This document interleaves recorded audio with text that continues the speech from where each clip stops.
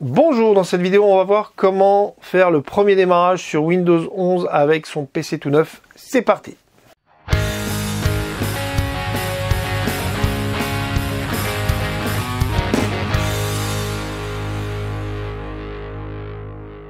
Là, euh, je suis sur un PC portable, mais sur le PC fixe, ce sera exactement pareil. On va voir les petites étapes quand on démarre son PC euh, pour la première fois sous Windows 11.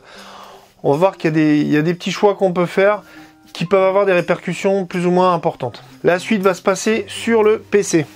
Ici, je suis sur un PC HP, mais euh, la marque, ça fera pas une grande différence. On arrive ici, on fait oui, car on le veut en français. On va mettre oui pour la région. Le clavier est-il français? Oui. Généralement, on n'a qu'un seul clavier, donc on fait ignorer. Ici, il nous pose la fameuse question du je veux me connecter à Internet. Comme vous me connaissez, je n'aime pas du tout donner un compte euh, Microsoft à la connexion parce qu'en fait, si on met qu'on a Internet, il va forcément vouloir nous connecter avec un compte euh, Microsoft et nous en faire créer un s'il n'y en a pas. En cas de problème de profil pour la, pour la réparation, c'est très compliqué. Et Microsoft va aussi faire de la captation de données. Euh, il va analyser tout ce que vous prenez sur le Microsoft Store ça les regarde pas forcément. Donc là, moi je vous conseille vivement de cliquer sur je n'ai pas internet. Quand on n'a pas internet, on peut continuer avec l'installation limitée. Là, donc on accepte le contrat de licence. On va mettre le nom de session.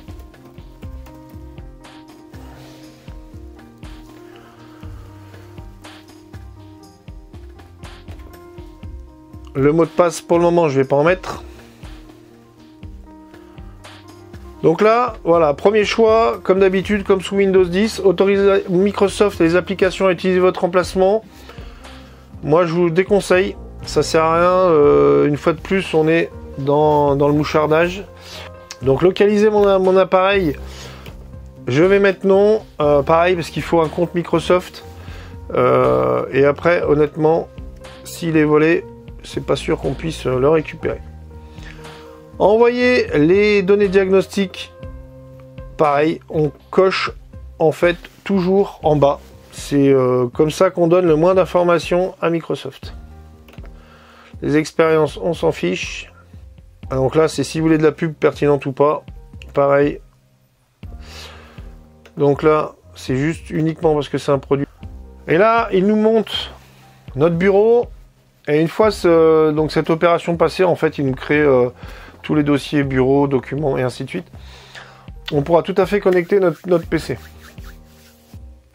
Nous voilà sur notre bureau. Il vient de finaliser l'installation. Comme vous pouvez le voir, on peut tout à fait maintenant aller se connecter sur un réseau. Il n'y a aucun souci. Ce que je vous conseille, comme tout PC neuf, c'est déjà de désinstaller la, surcouche. Alors, je suis désolé, moi je passe par les anciens, les anciens raccourcis. Donc, on fait la touche Windows et R Control. On se retrouve avec le bon vieux panneau. Désinstaller un programme. Et là, vous pouvez désinstaller tout. Moi, généralement, je laisse euh, que le que vraiment les, pilotes, là c'est-à-dire que dans notre cas ici, on va avoir le HP Audio Switch et même le connexion optimiseur, on va, moi personnellement je l'enlève. Tout ce qui est ExpressVPN, Microsoft 365, il est gratuit euh, un mois, après il va vous demander de payer. Personnellement, je désinstalle tout. Voilà pour euh, cette euh, mise en service de Windows 11. Cette vidéo est maintenant terminée, je vous remercie de l'avoir suivi. A bientôt